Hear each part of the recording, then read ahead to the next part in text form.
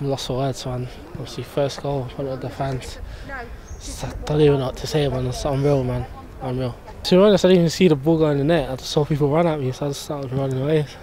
So yeah, I'm delighted, obviously, with the win, of course, you know. And um, as I said before, a new team are just starting to click, and once it clicks, then I don't feel I feel unstoppable in this league. Mm. If you were to choose how you were to score your first goal, you probably couldn't have chose a better better moment than that in front of the Kop. Oh, 100% no.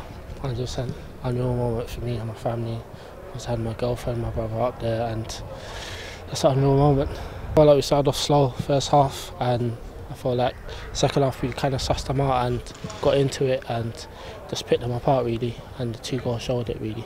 Like you said, that partnership between you, Lewis, Baz, and then George when he came on as well. It's, it's, it's going to take some time to click, but it's, you can see it's getting there. Yeah, I think we're getting there slowly, but it's definitely going to get there very soon. As as I said, first half was a bit slow, but second half we sussed them out, and I think us three midfield, including George, like could be the best four in the league, I'll say. Mm. And once we get clicking, then I think we're going to be unstoppable.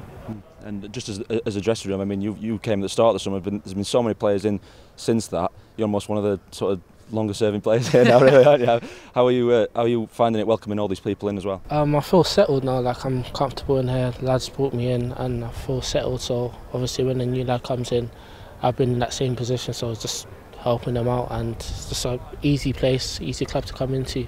All the boys, staff, has been top notch. So easy. Tell us what the gaffer's been been saying to you as well in training.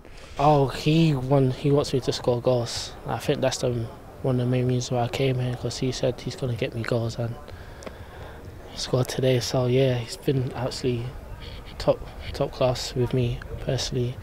Works with me, tells me what I need to do, gives me confidence even though I'm not playing too well. So I feel like once he's behind my back, fans are behind my back, club's behind my back, then you can't really be nervous when you're out there. Just got to enjoy it.